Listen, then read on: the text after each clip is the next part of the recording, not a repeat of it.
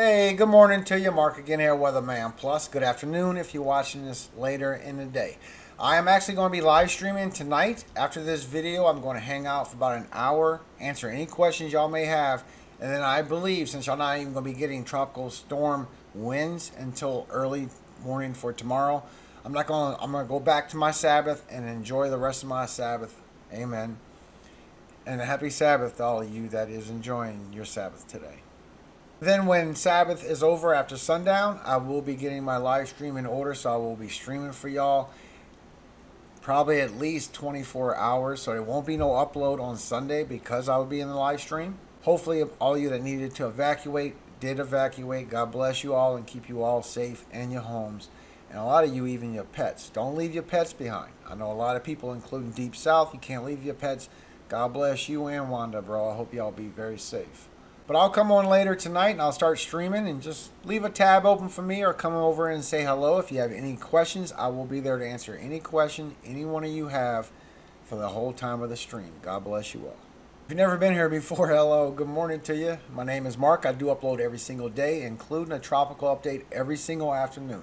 Just not Friday from sundown to Saturday from sundown. That's Sabbath. But it's honoring the Sabbath to save a life rather than to lose a life on Sabbath. So that's why I got the video going out for this morning because there is a lot of life-threatening situations going on. But I believe in my heart that there won't be no life-threatening situation until I come on later tonight because it's still going to be in the Gulf even though you got bands whipping around to everybody.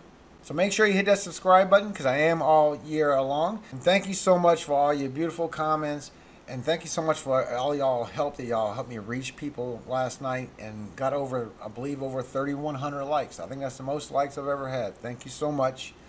please hit the like button again. I hope you have a very blessed day. Now this is high resolution rapid refresh so we can get somewhat of an idea of what could be going on. And a main problem that's going on is the levees. Is that the eye wall is coming so close to the levees that if it went a little bit more to the east, it might even do structural damage to the levees, and there could be issues, especially with it predicting to be a Cat 4 on landfall. And according to high resolution rapid refresh, Houma, the eye goes right by you, so you could be getting the worst of the winds, including Baton Rouge. New Orleans getting it bad, but if this goes a little bit more to the east, because you got your levees right here, if it goes a little bit more to the east, all these high winds are on the wall We'll, I don't want to say it will breach the levees, but boy, it will put a lot of stress on them. Now I'm going to read this real quick. There's an advisory from the National Weather Service. These are the changes to watches and the warnings that's going on with Hurricane Ida. A storm surge warning and hurricane warning are in effect for Ascension, Assumption, Eastern Orleans, Iberville, Livingston, Lower Jefferson, Lower Lafourche, Lower Plaquemines, Lower St. Bernard, Lower Terrebonne, Northwest St. Tammany, Southeast St. Tammany, Southern Tangipahoa, St. Charles, St. James, St. John the Baptist, Upper, Upper Jefferson, Upper Lafourche, Upper Plaquemines, Upper St. Bernard, and Upper Terrebonne. A storm surge warning, tropical storm warning, and hurricane watch are in effect for Hancock, Harrison, and Jackson.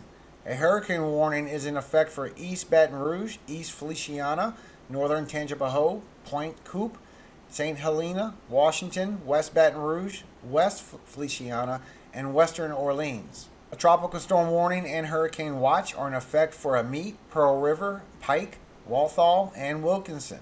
Right now, it is about 520 miles southeast of New Orleans, or about 500 miles south southeast of Gulf, Gulfport, Mississippi and it's moving 16 miles per hour to the northwest. So it's moving pretty fast. So if it slows down, it definitely will get a lot of strength. Uh, matter of fact, they showed a major this morning, but they took off one of the other majors because of that reason. So if it does continue to move fast, it won't have time to strengthen too strong, which could be a good thing. Now here's the whole situation overview. Hurricane Ida in the southeastern Gulf of Mexico will rapidly intensify as it moves northwest across the Gulf today.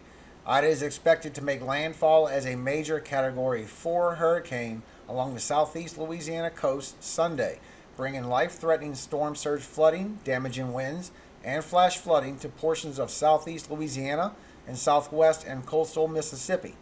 Conditions are currently expected to deteriorate tonight into Sunday, so all residents should rush preparations to complete today for this storm. And remember, if you don't have any gas in your area, use the Gas Buddy app. That's the name of it. It's called Gas Buddy. That's the name of it. It's called Gas Buddy. It'll find gas stations with gas near you wherever you're at. It's a really good app. So this is the latest forecast according to National Weather Service of of what they expect the intensity to be so far. And I'm sure it will change, but this is what they have so far. Hurricane warning remains in effect. Storm surge warning remains in effect for Thibodaux, Raceland, Larose, and the winds is equivalent Cat 1 hurricane force winds. Peak wind forecast 60 to 80 miles per hour with gusts up to 100 miles per hour. That's it so far. Window for tropical storm force winds Sunday morning until Monday afternoon. Window for hurricane force winds Sunday afternoon until early Monday morning. There is uncertainty in track size and intensity, so a potential for wind greater than 110 miles per hour. They also say to plan for extreme winds of equivalent Cat 3 hurricane force or higher. Now here's your impacts. Prepare for catastrophic wind damage. Move to a safe shelter before the wind becomes hazardous. Devastating catastrophic stru- structural damage to sturdy buildings, some with complete roof and wall failures, complete dis- destruction of mobile homes, damage greatly accentuated by large airborne projectiles. Locations may be uninhabitable for weeks or months. Also, for those that are trying to stay, just so you know what it'll be like afterwards, how bad it's going to be. Your escape routes and secondary roads washed out or severely flooded. Flood control system and barriers may become stressed. Massive damage to marinas, docks, boardwalks, and piers. Numerous small crafts broken away from the moorings, with many lifted onshore and stranded. And you can see this is the convection, the lower levels. It's trying to create the eye already. This is high convection around the lower center, and you can see it getting darker all the way around. And this has been happening within the last hour. It has been really ramping up. And if you look on the mid levels, you'll see it has no problem breathing as well. This thing is a really good machine. It's almost getting the center up there, and the cloud tops are reaching way high in the atmosphere. Yeah, it's definitely trying to get a center. Look at that last shot. This is on the top. This is in the middle and this is on the lower. It's definitely trying to get a center. Now, so far they have it at 80 miles per hour, and when it gets to 1 p.m. today, it's predicted to be a Cat 2 hurricane. And in between 1 p.m. today and 1 o'clock in the morning tomorrow is when it's going to turn into a major hurricane. And it's going to intensify all the way from 1 o'clock tomorrow morning all the way to 1 o'clock tomorrow afternoon. They're still predicting 140 miles per hour winds. Plus tornadoes. Today you have a tornado threat, 2% in all this green, 5% in all this brown. And here's your towns right here who's in the tornado threat for today. Tomorrow, of course, there's tornado threat for Louisiana, Mississippi, Alabama, the panhandle of Florida. Here's your towns where they are. 2% is in the green and 5% is in the brown. We have Ida, we have the disturbance up here that's still going out to the northeast. We have the new disturbance 3 down here. This is the one that's going to come through the Western Caribbean and get hit with the cold front. This was the second one. So far, it's not looking good. We'll see what the updates can be. So far, it's going to be okay, but it's starting to group up with some energy from another wave. I will update that another time. And we have Trop- Tropical Depression 10. And Tropical Depression 10 is going to be a storm and go all the way up to Atlantic and disappear pretty much. And Hurricane Ida is predicted to intensify still by 1 a.m. on Sunday and by 1 a.m. on Monday still be a hurricane on land as it degrades quickly to a tropical storm, then a, then a depression. You're in tropical storm watch in this yellow, you're in hurricane watch in this pink, and a tropical storm warning in this pink, and you're in hurricane warning for this red. Now here's another shot of it so you can see it. It is literally racing around trying to create that center eye. This thing is going to start ramping up and it's not going to stop. And if you notice, you got an upper level low right here by the western of the Caribbean. And this upper level low is actually moving the outflow from the hurricane that's going on in the East Pac. So it's not getting no shear at all from that outflow. Nothing is stopping this hurricane from strengthening as strong as it can get. It is going through the warmest, deepest part of the ocean content today. And the outflow on it is just explosive. It is just highly explosive. This storm is going to be a bad one. Now, the latest track does take it about 36 hours right around landfall. 24 hours, it'll be right out here whipping bands around. And by tomorrow morning, you're going to be feeling tropical storm uh, winds along the shore. But it will go all the way up to the northeast and go out somewheres by Maryland, Delaware, maybe by Jersey. Most of the ensembles are in agreement in 24 hours it would either be a strong Cat 2 hurricane or it will be a strong Cat 3 major hurricane. And the Cat 4 potential is literally right before 36 hours. Flash flooding levels have, have gone up. You got the marginal in the green, you got the slight risk in the yellow, the moderate in the red, and now you got a high risk right here in this pink.